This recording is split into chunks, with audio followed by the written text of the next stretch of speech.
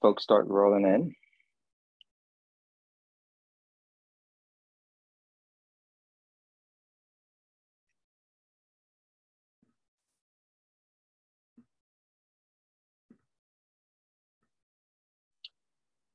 Okay, guys, um, let's go ahead and uh, plan to get started. As I mentioned um, before, it's possible that Shannon Stratton won't be able to join us today, but um, in her absence, we'll just uh, um,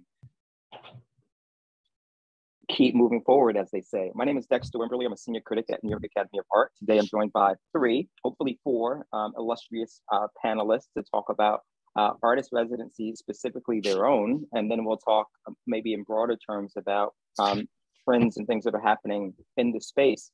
I'm joined today by Chris Cook, who's the executive director of Bemis Center for Contemporary Art um, in Omaha, Nebraska.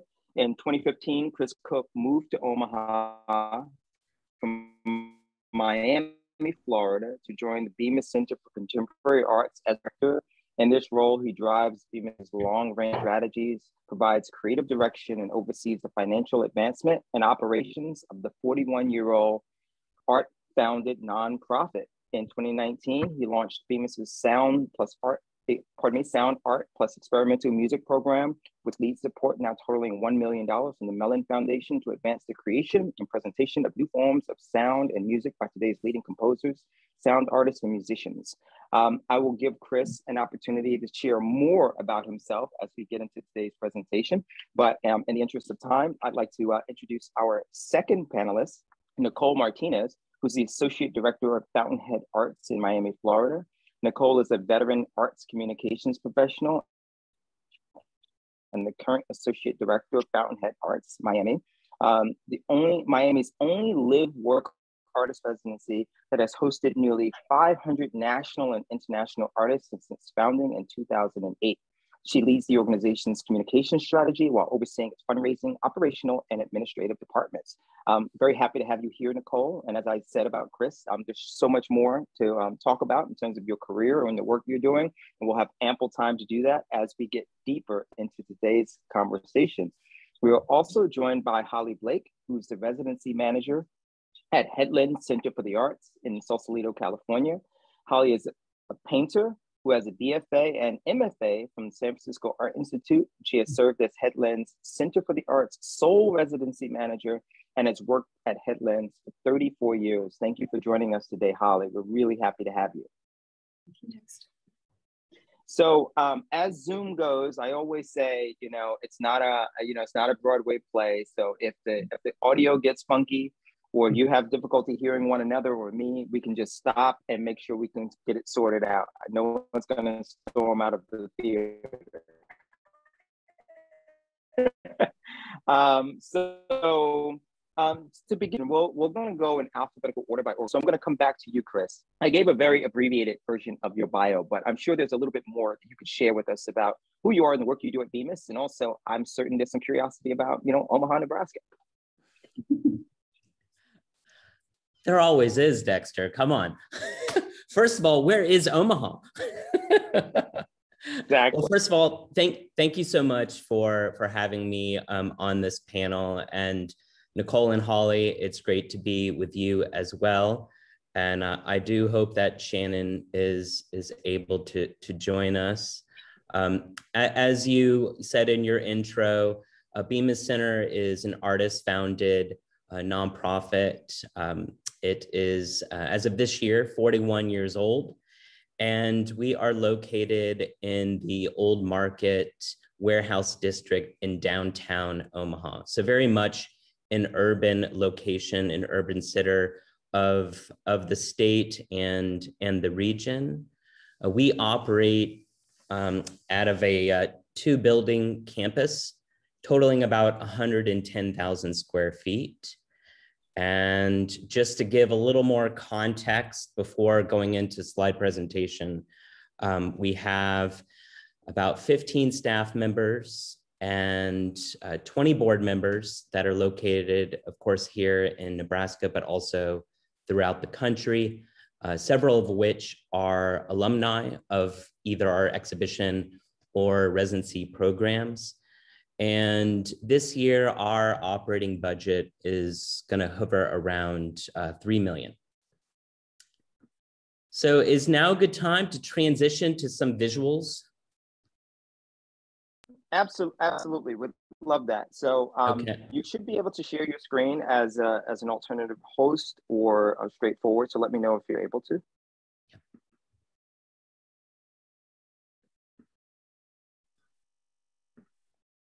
Great. Wonderful. Give me one second as I orientate my screen just a little bit.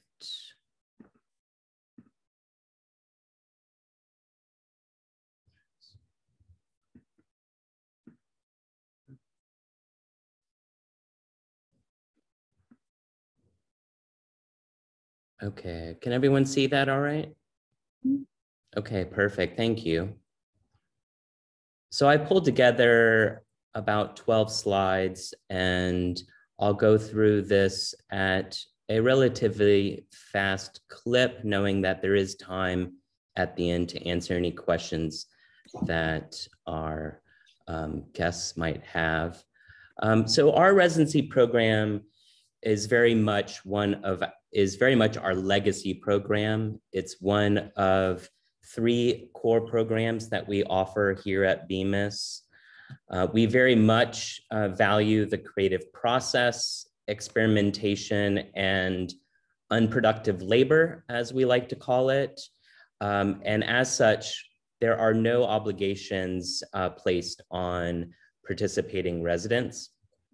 Uh, just in summary of the program itself and the pacing and volume. Um, we offer three residency sessions per year. Uh, winter, spring is one, then summer, and then fall. And we total approximately 35 national, international artists a year. And all of, we've designed our program so that currently all of the artists arrive at one time and depart uh, at one time, therefore creating a true cohort uh, which oftentimes creates a bonding uh, experience that uh, at times can also lead to lifelong uh, friendships.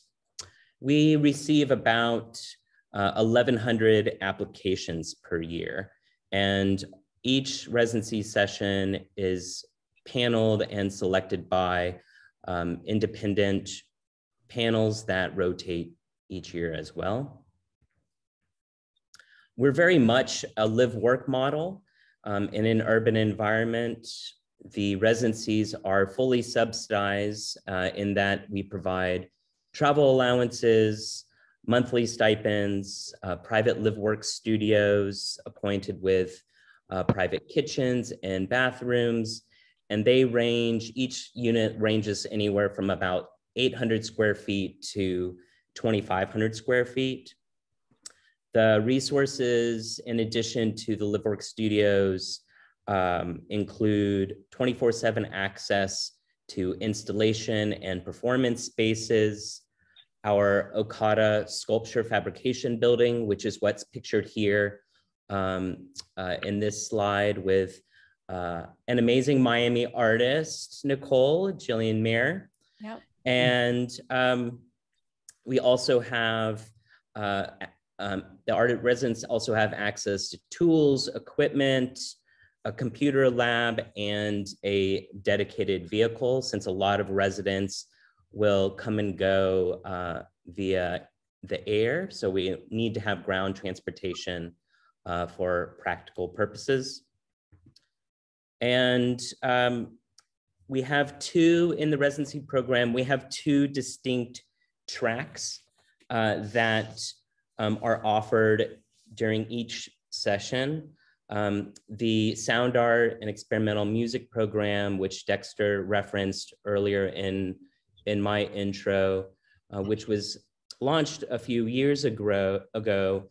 This is for artists that are working in experimental forms of music composition, sound, um, or music of, of all genres. And um, for artists that are participating in this part of the residency program, they have all of the aforementioned resources afforded to them, but they also receive a production budget to either rehearse or record new music. And they have access to a rehearsal space a and a recording studio. And we have a full time sound technician on staff to assist them in whatever their uh, projects um, they might be working on. And then as part of the sound program, we also opened a music venue called Low End. The residents uh, have an opportunity to perform live um, at Low End um, uh, at least once during their residency session if they, if they so wish. In addition to residents performing here, we also bring in musicians and bands for one-off performances. So we present uh, two concerts a month with an average of uh, 45 attendees for each concert. And um, through uh, an initial investment of $500,000 and now totaling $1 million from the Mellon Foundation, all of the performers and the residents are, are fully compensated for uh, their time here. And that also allows us to present all of the confer- conf- ah, concerts uh, free of charge. And then the second uh, unique track within the residency program is catered for independent curators. Um, we launched this program with um, in 2017, and to date, we've had four curators uh, run through this program. The duration of the residencies really changed because we customize each residency per the curator's goals and uh, ambitions while they are in residence. Um, so we've had a curator here for 16 months.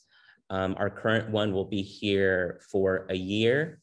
And um, this is really an opportunity for curators to focus on um, independent research and curatorial projects.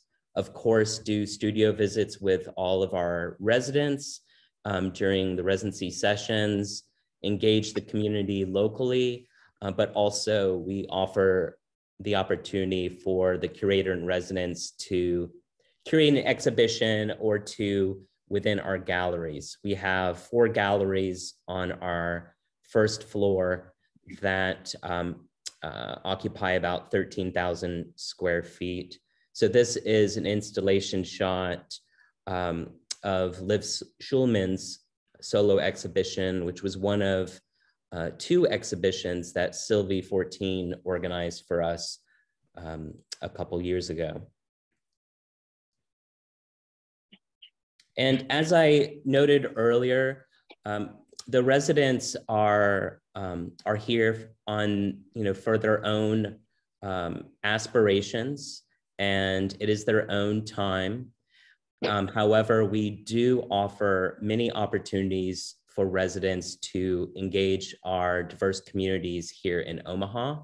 So we, we invite them to sign up for studio visits with area curators, go on tours to explore and then access resources within the community um, that go beyond what Bemis officers and can, in a, in a very significant way, supplement the resources that are available to them, whether that is a fabrication lab at a local college, to a gym membership at the local Y, uh, to um, access to the Malcolm X Foundation, you name it. So we um, we have a number of partners um, that are aligned with our residency program that residents can make use of, um, including we offer an opportunity during each session um, for artists to share their work um, and to talk about the ideas that are unfolding in their studios through a public open house, open studios event. We actually have one coming up this Saturday um, for our current fall session.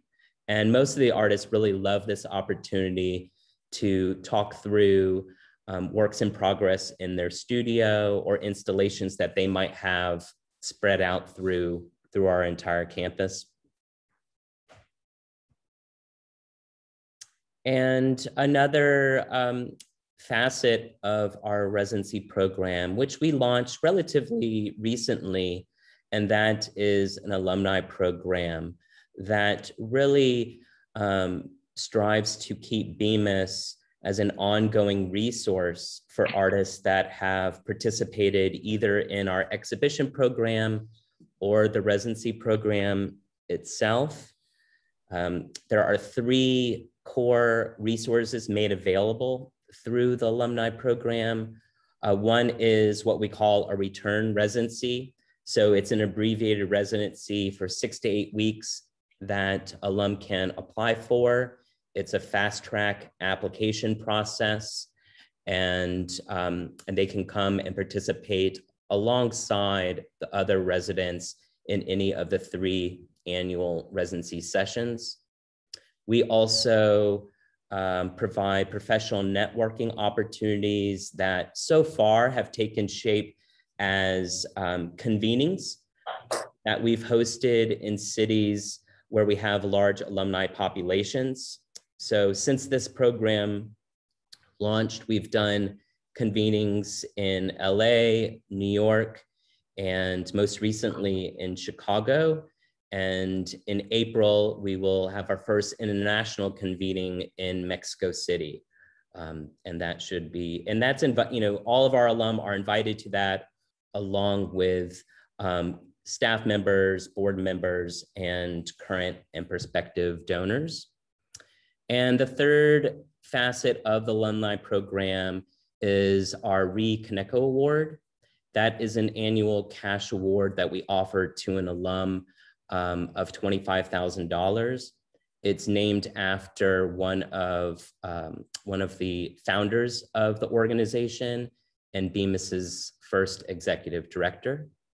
And our last Ree Kaneko Award went to uh, Raven Chacon, um, who's a recent uh, resident and one of the um, core advisors that helped us launch our sound program. So that is Bemis's residency program in a nutshell. Thank you all for your attention. I appreciate it. I'm going to stop sharing my screen and hand it over to you, Dexter. Thank you so much, Chris. And um, I can attest to uh, how fantastic your organization is. It's been a long time, but I did make it to Bemis. I've been there before, you know, so, um, you know, I, nothing but good things to say.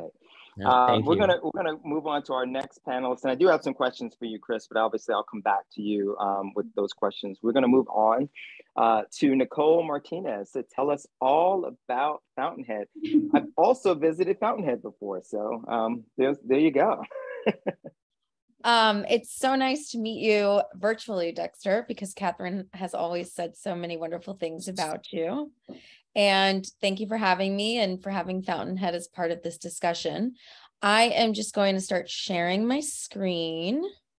Sure. And let me just Great. do this. Okay. Okay. So at Fountainhead, we like to say that we empower artists to build a better future. And when we say that, we mean for themselves, but we also mean for all of us, because at the core of our mission is the belief that through the transformative power of not just art as an object, but the ideas that artists put forth, we can um, really change the world. And so that's kind of at the at the core of our mission. Um, Fountainhead is a very unique organization, obviously based in Miami. Um, it was founded in 2008 by Kathryn and Dan Mikesell. They were, they are art collectors who really wanted to find a way to go beyond just collecting art and support artists in a way that made more sense and also kind of support their their local community in Miami as it was beginning to grow and evolve into um, a cultural capital. And so Fountainhead in the early days was kind of like the place where Locust Projects or PAMM or um, you know, MoCA would send artists when they didn't have a budget for a hotel. Like Fountainhead was like kind of supporting all of this activity locally when the institutions just couldn't make ends meet themselves. And so I really like to think of Fountainhead as being at the core of this evolution of Miami's cultural scene because not only has it um, you know supported the local landscape and gotten people locally to kind of engage with the arts in a very different way but it's also brought a, an insane caliber of artists to miami that i don't think many of the local curators um, or gallery owners would have had a chance to meet otherwise.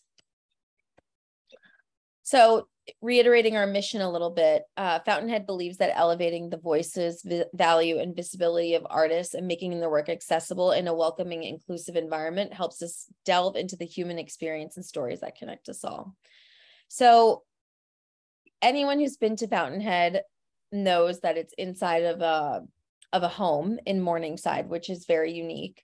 Um, and we really believe that hosting artists in a home and welcoming people to meet the artists in that home and see their work really changes the way that they um, perceive the arts because you know it's not a gallery it's not a fancy museum it's it's just a house right? And you can just come in and see artwork on the walls and you know stand two feet away from the artist who made it and ask them questions about it. And we really think that that engages people and opens them up in a way that uh, they may not necessarily if they were in a kind of more structured traditional art environment. So Fountainhead today has really two core main programs. Um, the first being the residency, which is a year-round, month-long artist in residence program, which, as I mentioned, is hosted in a mid-century home in the historic neighborhood of Morningside. Um, each month, we offer three artists time, space, and connections to expand their careers. And we host an open house at the end of each month that invites the local community to come in and see the work that they made in residence. The second kind of flagship core program that we have is called Artists Open. Um, it's Miami's first and only countywide open studios event.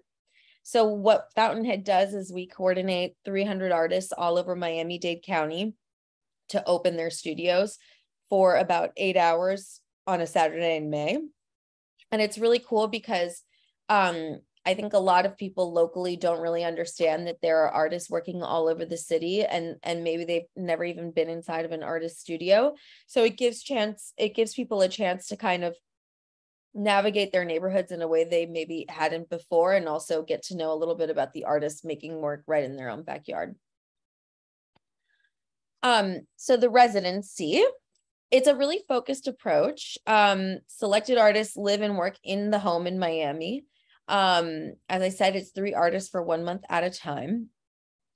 I think that the crucial differentiator about Fountainhead, obviously, it is a residency, so there is time and space to make work.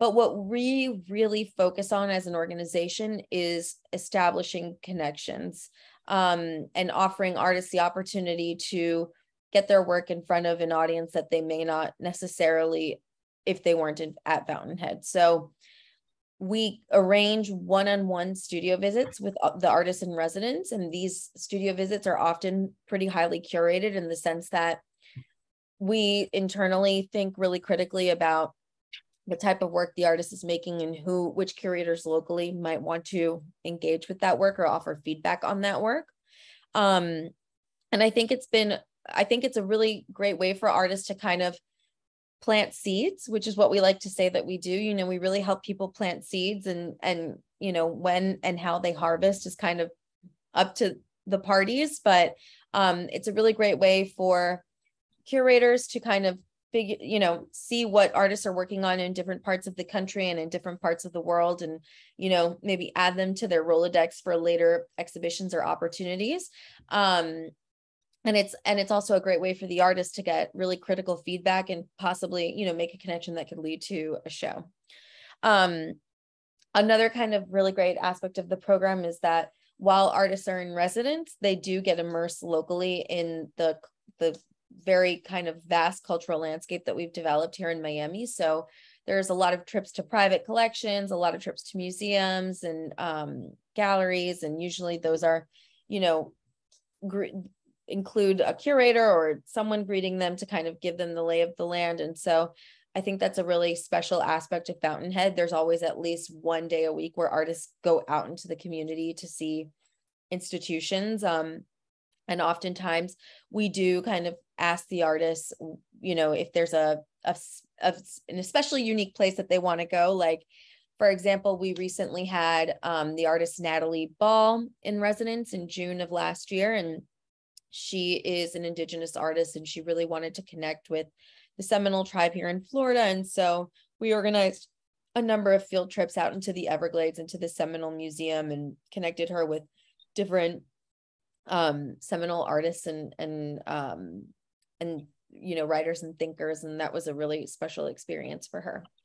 Um, all artists that come to Fountainhead are provided with round trip airfare um, obviously, their accommodations are covered. And then we also offer a $1,000 stipend to offset expenses while in residence. So it is fully subsidized plus a little extra in order to kind of pay for food and all of that stuff. Um, so the selection process is, you know, the curate the the curatorial committee changes every year, but the uh, format of the process is, you know, pretty much set in stone, which is that we ask alumni artists to nominate artists to apply for the program in tandem with hosting an open call, um, which allows us to kind of engage the alumni and make them feel like they're, you know, a significant uh, part of expanding the network and have a say in how that network expands. Um, and the open call, obviously, to keep it all democratic and also figure out, you know, if we're missing someone that's just not in our network, that is a really fantastic um, upcoming artists. So we've just finished our selection process for 2023. This year's curators were um, Allison Glenn, who's at the Public Art Fund in New York, Melissa Wallen, who is at the Dela Cruz Collection in Miami, uh, Rodrigo Valenzuela, who's an alum of the program, a photographer and um, a professor at UCLA, and Susanna Temkin, who is the curator at El Museo del Barrio. And I'm very excited about 2023. We're announcing who's been selected next week on Tuesday. So if you don't follow us on Instagram, please do so you can see.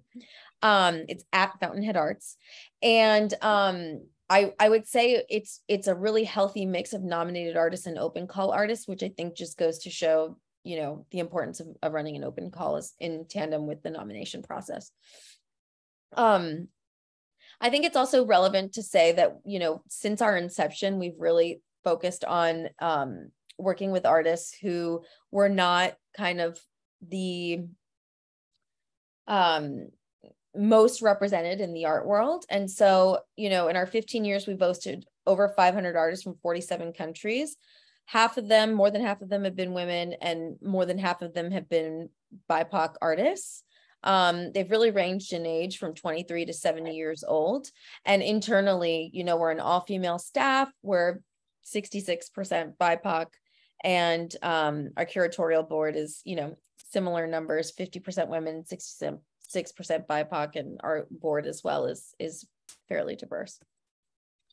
Um, so I think that obviously the the most important aspect of Fountainhead is the alumni. Um, I'm consistently blown away by how many accolades our alumni just continue to add to their resumes. Um, a lot of Fountainhead alumni are United States artists. They're Pollock Krasner Foundation winners. They win Joan Mitchell Awards. They're, you know, granted by the Andy Warhol Foundation. We've got them in the Whitney Biennale and the Venice Biennale, the Studio Museum residency and Prospect Five and of course, some of our, oh, where'd my, some of our most notable alumni are uh, Christina Quarles, Gisela McDaniel, Derrick Adams, um, Basil Kincaid, Shepard Fairey, Tschabalala Self, Renee Cox, Deborah Roberts. I could go on and on, but they're really just a fantastic group, and and we're really proud to be, you know, a part of their journey. Kennedy Yanko is another one. I could just keep going. Deana Lawson. Um, but yeah, Okay, so there we go. this is just like a quick little video, which I think we're short on time, so I'm not going to show it to you guys. But if you have time later and you want to, it's on our website. It's just a little artist testimonial. Sure. I mean, if you want, if you wanted to play it, it's only a minute. We have time. okay, well, that's my last slide because this is just some of our partners that I wanted to share with you guys. You know, we're backed by the Knight Foundation, the Perez Family Foundation, uh, the state of Florida, the National Endowment for the Arts, and we have a host of local partners and international partners. And I'll close with the video. Sure. I don't know why this is like giving me trouble. Hold on. Let's see.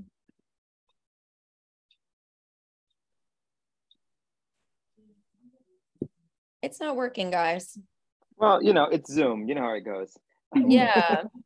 we Sorry we, about we that. all we all bow down to the Zoom god.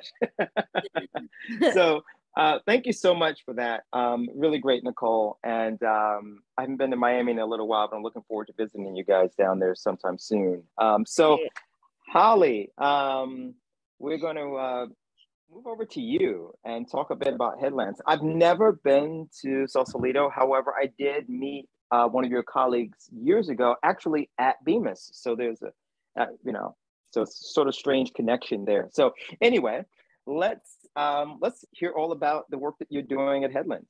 Okay. Well, thank you so much for uh, asking me to take part in this panel. It was really great to hear. I mean, I, I know a bit about Bemis, but I didn't know so much about uh, Fountainhead. So it was great to hear your presentation. Um, I guess I'll just jump in. And um, audio is breaking up a bit. I don't know if it's, oh. it's me. Well, it could be us. but we'll see. Okay. So, um, Can you see? Okay. Yes. okay. I'll go ahead and start then. Um, so, oops, for some reason. What's up? Okay. Okay. Okay. Okay, great. Thank you. Helps to have interns. Um, so Headlands Center for the Arts is located in a historic army fort. So your audio is a bit. The audio is breaking up. Can you hear me now? Um, it's breaking up a bit. I can hear you. I'm wondering um, if you turn off your camera, Holly, maybe the bandwidth would be better. You can give that a shot. Okay, by turning off my camera. All right. I may have need hand turn help on this because I don't see the. I don't, I don't know if that'll also affect your video, but it might be worth a shot. Maybe you stop sharing your screen for a second. All right, let's stop the Oh, oh share. oh, wait, I'm not. So Okay, there's stop it, yeah, okay. Okay, does that help at all? It does. Okay. Well, that's fine. You don't need to see me. So I'll start over. Headlands Center for the Arts is located in a historic Army fort in the Golden Gate National Recreation Area, which is just across the bridge from San Francisco. Um, we offer public programs and residencies for 45 national, international, and local artists each year. And we support an additional 20 artists through other residencies and fellowships. Uh, any artist living anywhere in the world is eligible to apply for a residency at Headlands as long as they can speak basic English and are not enrolled in a degree granting program. Uh, we receive about 1,200 applications a year, and we accept them in nine different uh, disciplines. Uh, these are our two main buildings. The first building I showed you is actually our main studio building, which has 18 studios. Um, we go by the Army designation numbers. So that was building 945. So this is building 944 and 945. Uh, the building on the far left is building 944, which is our uh, main administration um, building. This is a view of headlands. Uh, you can see our proximity to the Pacific Ocean if you look on the right side of the screen. So we're pretty close. It's about a 10 or 15 minute walk. And this is a view of the buildings, uh, basically from the other side uh, down near the lagoon. We have four artists, four houses. The, most of them were old um, Army officers housing. We can accommodate up to 15 artists living on site at once. And this is our, our writer's house, which is uh, building 940. Our main building, building 944, um, is our administration building. We also have two project spaces on the upper floors. Uh, when we acquired the buildings, they had been abandoned for 13 years. So um, uh, not working. Um, Should I well, show audio, pictures? the, yeah, the audio is uh, is getting pretty choppy. Um, okay. So uh, I'm just thinking, you know, it kind of comes in and out. Um, okay. It should be okay if you want to um, try just, continue. How about if I just flip through photos? Okay. That's fine. Okay. and then people can ask me later.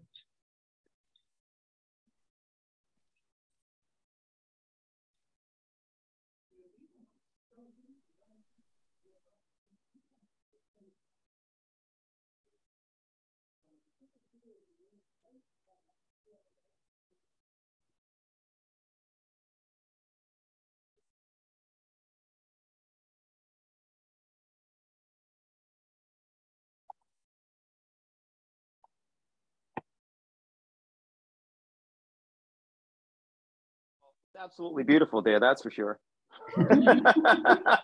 Thank you. well, it's good we have the pictures.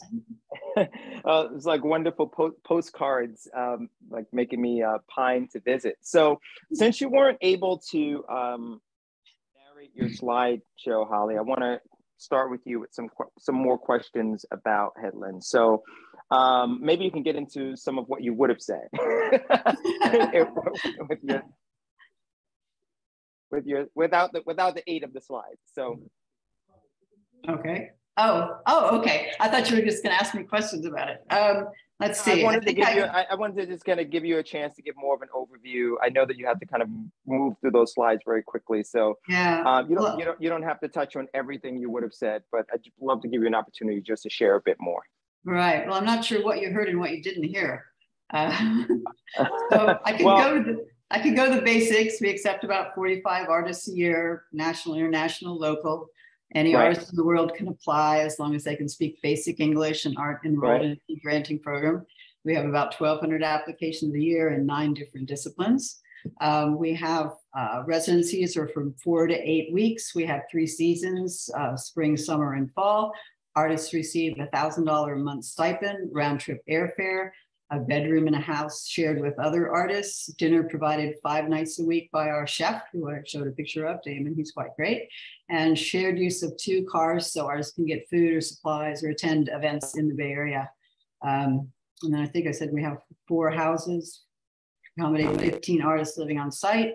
Our main um, buildings uh, were, we have um, seven of them. They were old Army barracks buildings that we have artists renovated. Um, so the some of the rooms I was showing were artist commissioned rooms. There was the first one with the bleachers, and that was by David Ireland.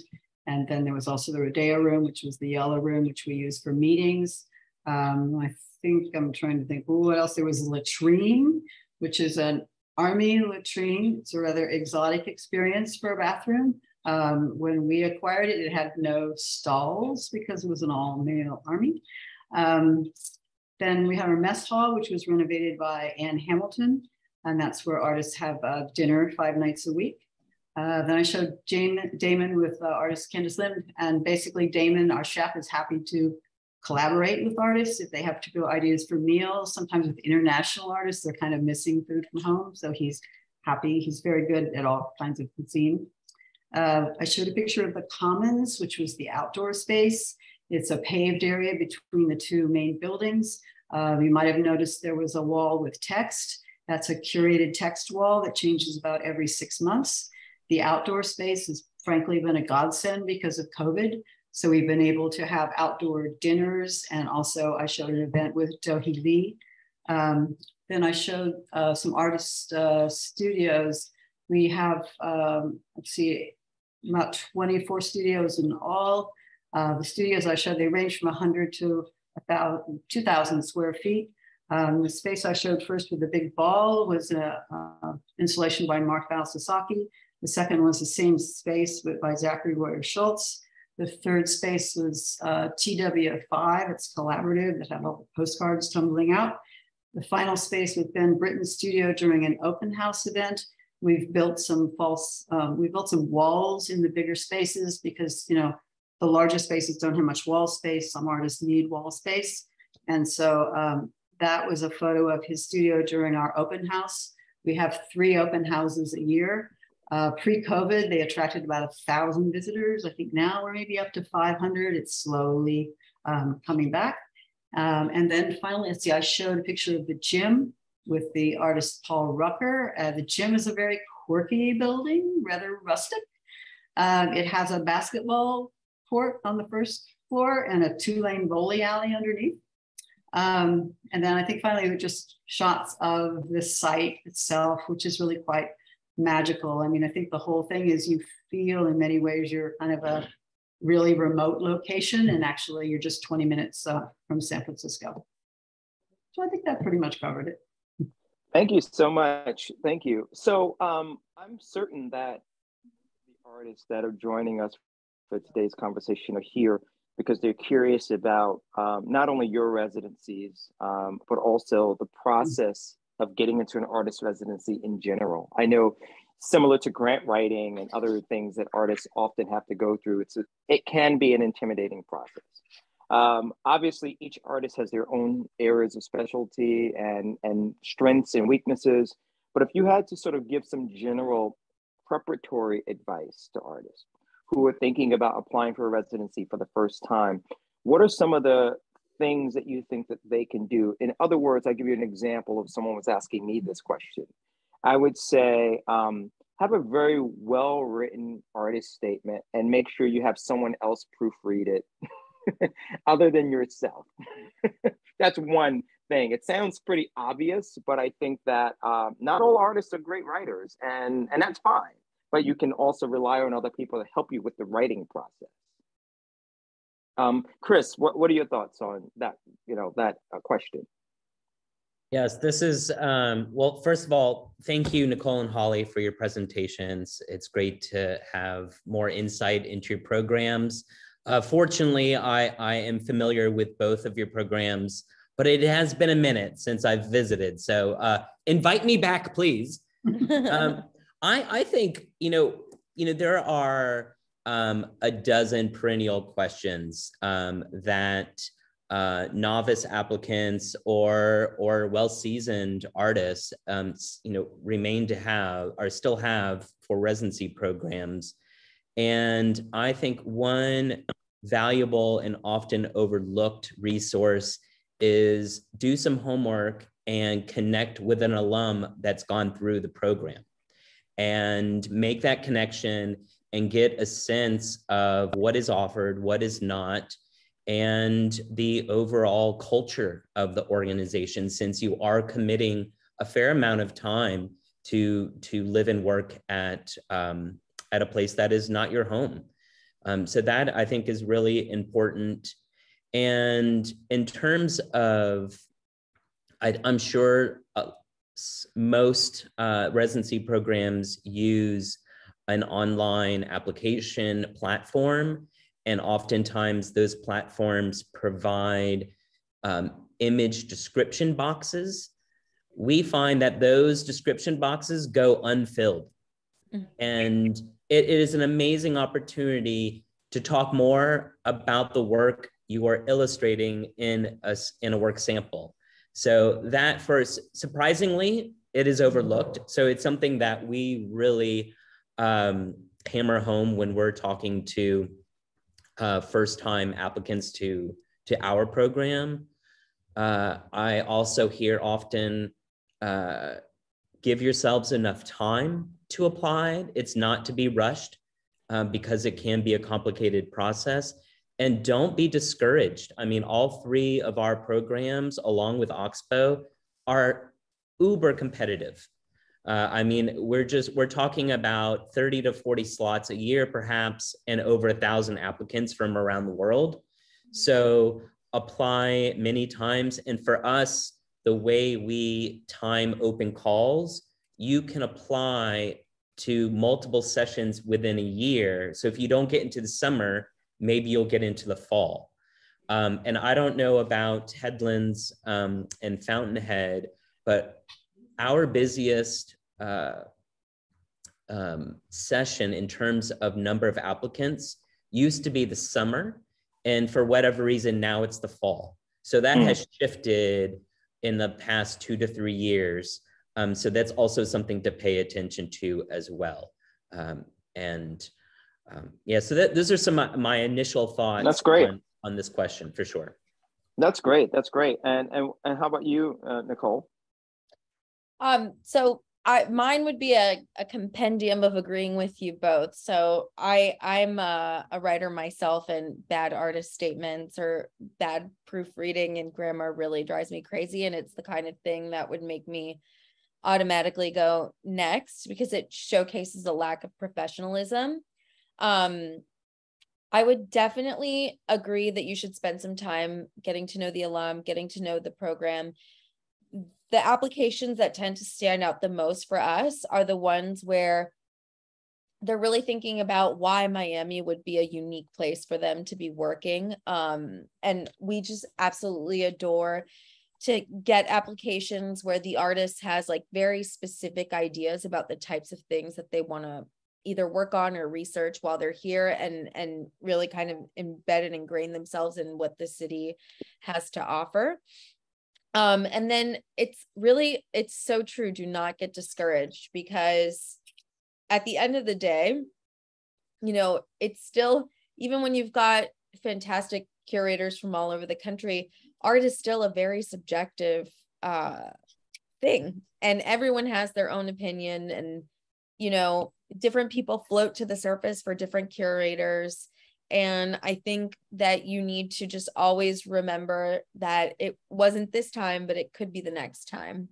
Um images i think a lot of times artists will put forth images that don't really showcase the material or the detail of the work. You know never underestimate how important the images are at least for me personally, when I'm reviewing an application, the first thing I do is look at the images. Um, I go right to it because usually in an image, I can tell right away whether someone is a fountainhead artist or not. Um, so the quality of the image and and the strength of the work is very very important. Probably for me the the most important thing. Um, and after that you know i would look into who the artist is i would review their cv and all of that but the images the images for me are kind of like a make or break right? And i would i would think that probably for most people as well. Um make and then finally make sure your cv is really up to date and think about you know how you can constantly add things to your cv that would make your you a desirable candidate for a residency whether it's exhibitions or press or or what have you.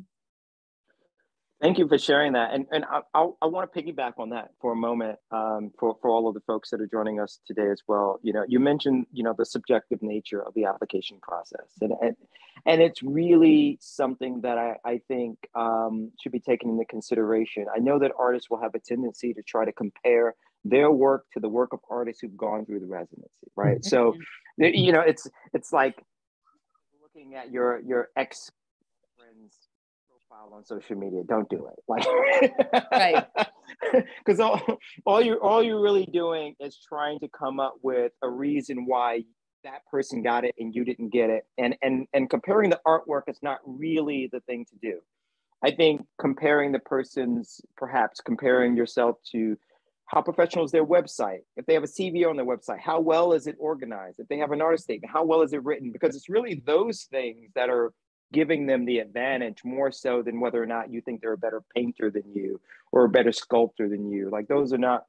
And then the other thing is because it's so competitive, even if you received 80 applications that you thought were fantastic and you wanted to accept all of them, you simply can't. Right. There's a there's also right. that part where no matter how good you are, cutoff.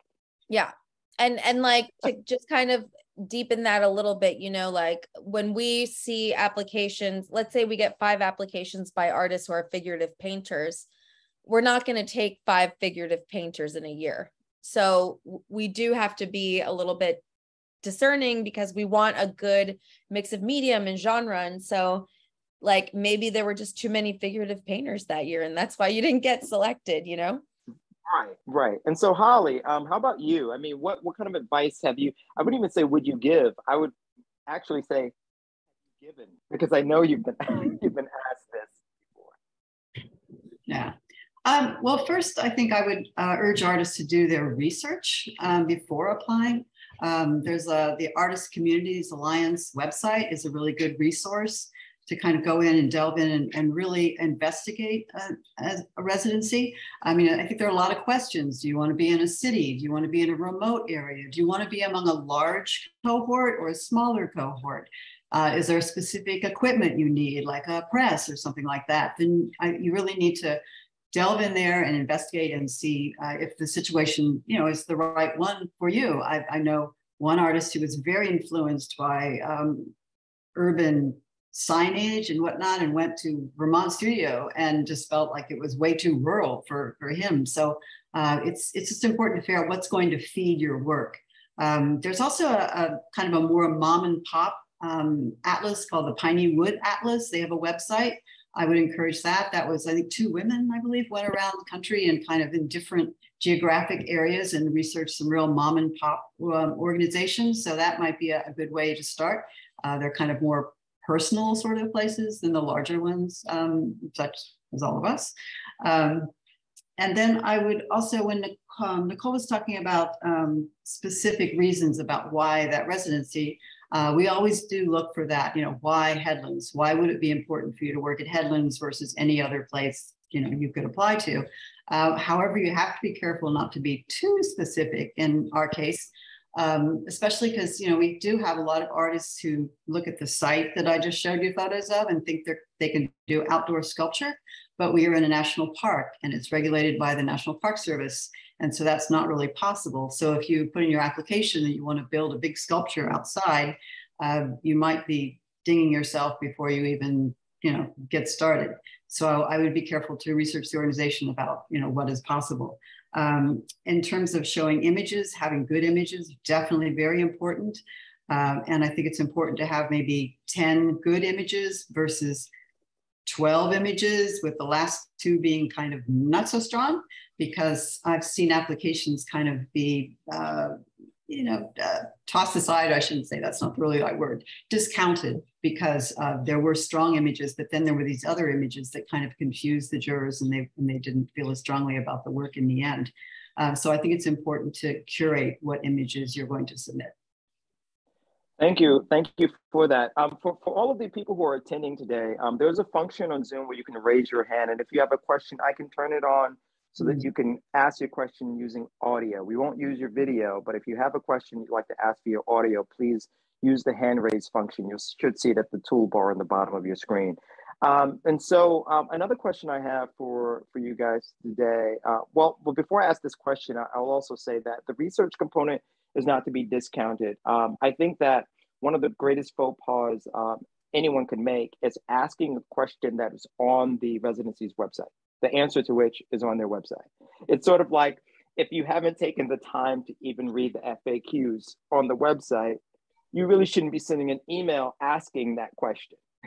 that to me, it's just one of it's a personal pet peeve of mine. Um, um, and so I thought we would make it through today's um, conversation without without any mention of COVID, but we almost got there. We almost got there. Um, but so I just wanted to um, sort of ask you, you all, um, in terms of navigating that, have you have you seen um, that artists are pretty much uh, past that point and they're applying with the, in the same like levels they were applying before the pandemic?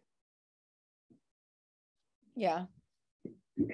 Yeah, yeah, we've actually uh, seen an uptick in applicants um, since since um, since 2020.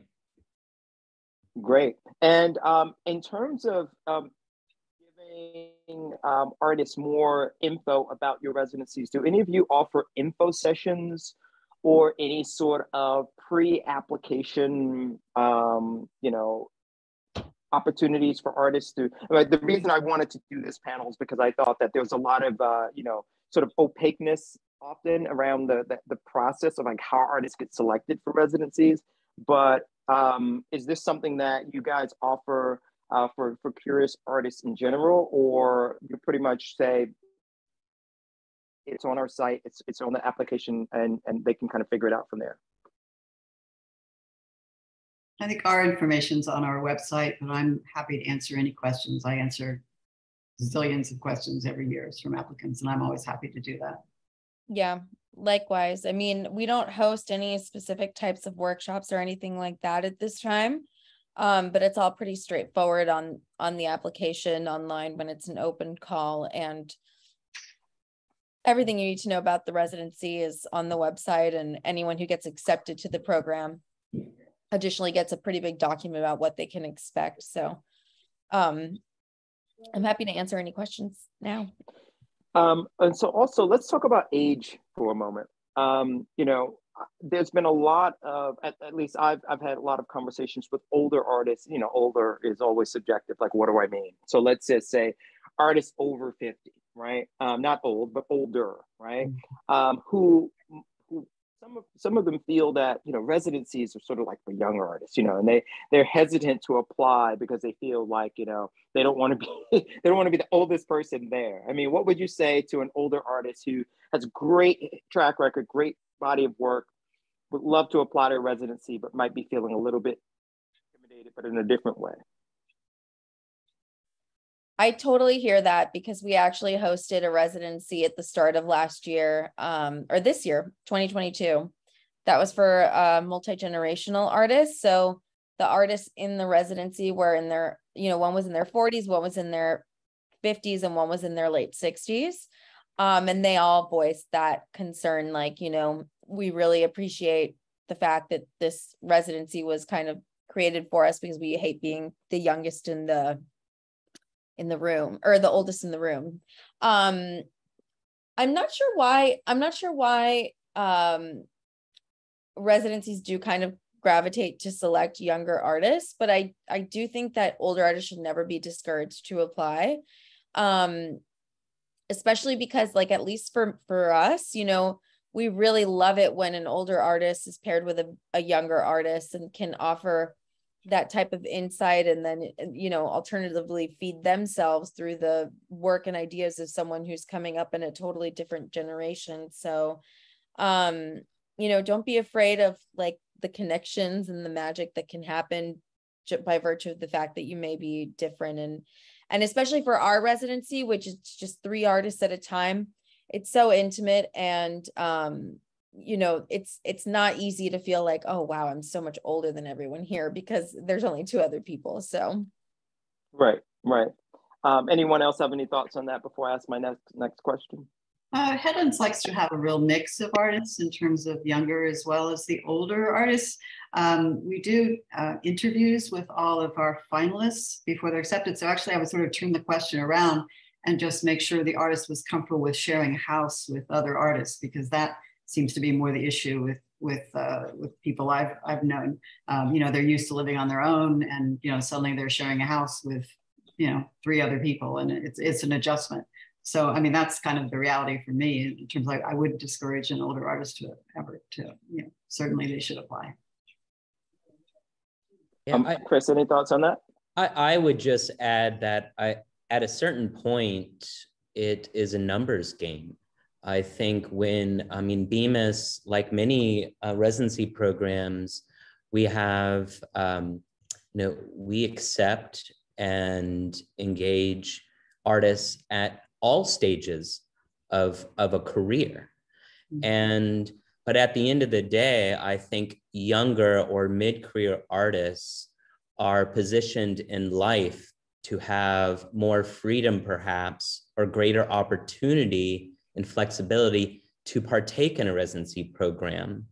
Um, and therefore, we get more applications from let's say younger artists right and and if that is the case then the odds are against you know um, uh, older artists uh, it's just it comes down to um, to the numbers Thank you. Thank you. Um, we're coming up to the hour now. So I have one more question. Um, and someone has raised their hand. Let's see who, who has done that. So James. James, you're allowed to speak now. Well, thank you so much. And uh, thank you all so much for sharing about your programs. I've really enjoyed this and always enjoy hearing about residencies. Um, my question is actually about the career side of residencies and, and jobs within artist residencies. I was fortunate in having an opportunity to manage an artist residency program in the Hudson Valley, and I'm in conversation with another one about managing their program in the future. Um, it was a really overwhelming experience, but incredibly rewarding to be surrounded by that many artists, un- unbelievably, but stretched in a million directions. And I wonder because for me, that was an isolated experience. Um, is it that crazy every residency that one might work at? Um, and what what other kinds of positions and where would a what, what would a career develop to from a residency manager? Would it be working at a more prestigious residency, maybe with more resources, or um, you know, obviously there are directors of the nonprofits that sometimes have have the residencies under them, and and any any insight into sort of career trajectories within the residency world would be fascinating for me. Thank you so much for your question, James. It's actually a really, really great one. Thank you. Well, do you want me to take that since I've been at the helm here? Please, please. Quite please. a while. I think it just depends on what you want to get out of the experience. Um, I have no desire to be an executive director. I have no desire to be a development director of residency program. I am perfectly happy sort of staying behind the curtain and facilitating residencies for other artists. You know, I get to meet them, talk with them. I get, you know, I feel like I have the best of both worlds. Um, so it really just a matter of what your career ambitions are. If you want to be an executive director and maybe shape it and take more of a leader position, then um, I think that you could definitely stepping stone to that. I mean, oftentimes it generally tends to be the development director who kind of goes into the ED position. Um, but you know, all I can say is I'm very happy where I am after all these years. Yeah, I really like that question. Um, Chris, Nicole, either of you want to thoughts on that? Like, how did you get? Um, to, how did you get to be where you? Well, I mean, at Fountainhead. Maybe that's also part of the part of the be, question. Be perfectly frank, you know, I the reason I really like working at an artist residency, um, after working at several museums, is mm-hmm. that mm-hmm. I I think that there's like a total disconnect at this point between the museum and the artist and i really like working with the artist mm-hmm. i'm i'm i'm interested in objects but i'm more interested in ideas. And i think that working at a residency gets you that kind of firsthand exposure to the people making the work. And it's less about the work itself and and more about the the the ideas driving it.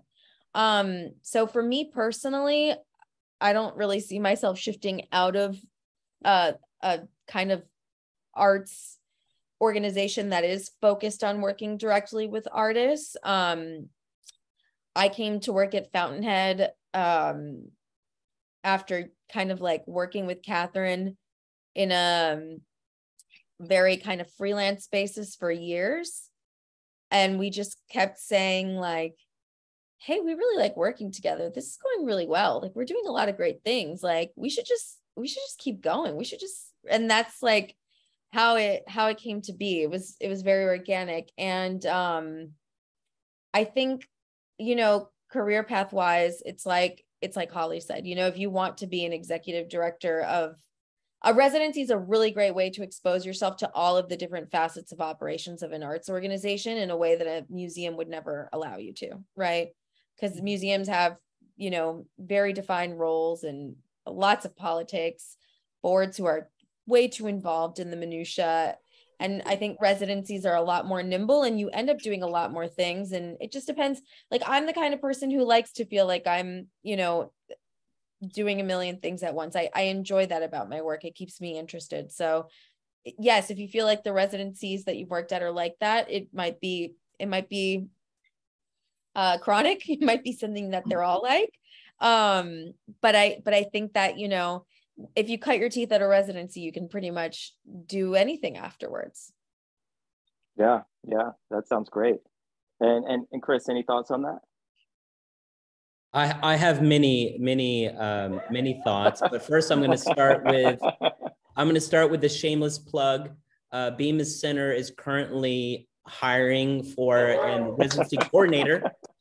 Uh, our our former residency manager was here for 10 years and decided to uh, step away to um, to get her MFA. So she moved on to go to grad school. And I think from my experience of about 20 years in this industry, I see a lot of makers finding themselves in a residency management position and working alongside other artists and assisting those artists to accomplish their, their goals. There are pros and cons to that dynamic. And within our institution, we have um, three, three positions that comprise uh, the residency program and report to a director of programs. So when thinking about a career path and a trajectory, I would certainly research the scale of the institution and is there movement within the institution from succession from one position to another within a residency department or into another department that would equally or greater satisfy your career interests and ambitions. I mean, I consider us a relatively small nonprofit in the entire sector of nonprofits. So we don't have a lot of um, ability for upward movement within our institution. But there are a lot of other arts organizations that do provide that because they're a larger scale and have larger budgets. Right. That's great answers. I, I, I think that that question was answered with aplomb. Um, so uh, we are coming down to the final couple of minutes. Um, I want to thank you all for your time today. Um, Chris just mentioned that there's a, a, a, position open at, at Bemis that people can apply for. Is there anything going on at uh, Headlands or Fountainhead that um, the artists or administrators on today's uh, Zoom might want to know about? Are, is, is Fountainhead hiring? Is Headlands hiring? That, those are two great questions. Um, and if not, um, what else is going on that might be of interest? hmm. um, well, we're not hiring at the moment, but uh, we we are going to be so two big things. Obviously, we're announcing our 2023 artists next week, so definitely stay tuned for that. If you follow us on Instagram, or um, you can sign up for our newsletter to get news about that and all kinds of other things throughout the year. Um, if you are in town for Miami Art Week, we host our open house on the Friday before Art Week begins, which is also the Friday after Thanksgiving. Um, but it's kind of like, you know, a lot of the artists that are here for the month of November stay on through Basel because they come here in November to make work that's going to the fair. So if you want to see some of the work that's going to the fairs or winding up in exhibitions before they actually get there, um, you are welcome to join us at our open house on the Friday after Thanksgiving. And then um, an exciting announcement that we will be um, able to publicly discuss in around Art Basel um, is coming up soon. And um, I'm very excited about it. So definitely stay tuned for that as well. Oh, wow. The uh, anticipation. Yeah. uh, and, and Holly, uh, how about um, Headland? I'm not sure. We did have one position open for sort of a groundskeeper position. I'm not sure if we fill that or not, but fairly soon we'll be accepting applications to our intern, internship program. So for the residency, we have two program interns, and it's a paid position. I think it's 800 a month. Okay. hmm? Yeah. Okay. 800 $800 a month. And you uh, basically live in one of the artists in residence houses. You have a small bedroom, it has its own bath. And then, of course, you know, you're with a changing group of artists. Uh, I think it's a position, I'm not sure, it may change next year. So I think it's like six months right now.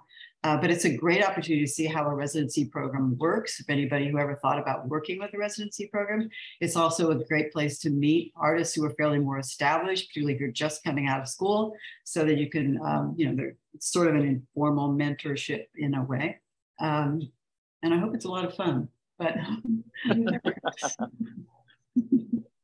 well, thank you so much. Um, this concludes today's conversation on artist residencies. Uh, Nicole, Holly, uh, Chris, thank you so much for your for your time today. Unfortunately, Shannon was not able to join us, but uh, I'll check in with her to make sure that everything's okay on her end. Wishing you all a fantastic Wednesday night. Eat some good food, get some rest, and thank you so much for your time. Take care, everyone. Thank you. Thank you so much. Thank you. Bye-bye. Bye-bye.